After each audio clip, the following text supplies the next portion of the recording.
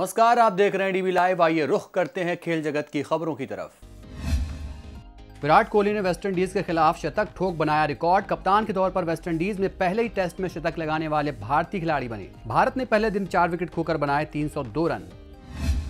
Rio Olympic में भाग नहीं ले सकेगी रूसी ट्रैक और फ़ील्ड टीम। खेल पंचायत ने प्रतिबंध हटाने की अपील की खारिज। डॉट टेस्ट में नाकाम रहे थे रूसी खिलाड़ी।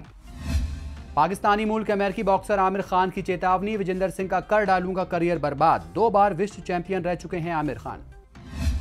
रियो ओलंपिक से भागने वालों में ज़्यादातर गोल्फर और टेनिस खिलाड़ी जीका वायरस के डर से ले चुके हैं नाम वापस। दक्षिण अमेरिकी महाद्वीप में तेज़ी से फैला है जीका वायरस का असर।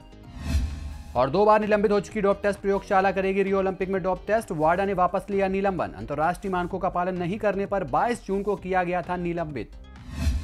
ये तो हुई खेल जगत की खबरें। देखते रहिए डीबी लाइव क्योंकि यहाँ हैं खबरें लगातार।